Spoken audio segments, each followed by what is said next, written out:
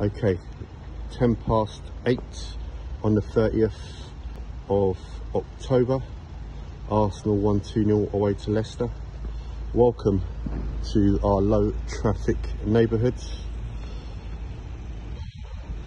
Never, ever, ever, ever did it used to be like this on a Saturday or a Sunday. The noise, the pollution, the congestion. Um, this is deemed okay to provide for others. They're telling me there's been no increase here. We cannot open our doors. We shut our windows due to the noise, pollution.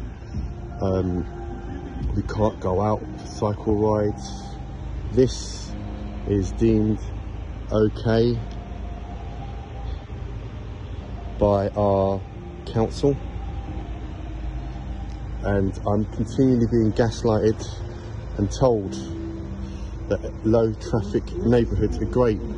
Traffic does not displace, it, uh, it, it evaporates and it's great for everyone. There's another bike, at least he stayed on the road. Let's keep going guys. 8 p.m. after till 10 past 8 on a Saturday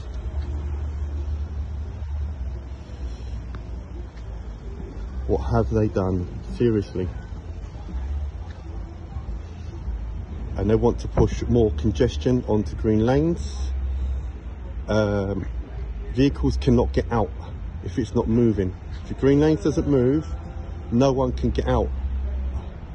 Unfortunately.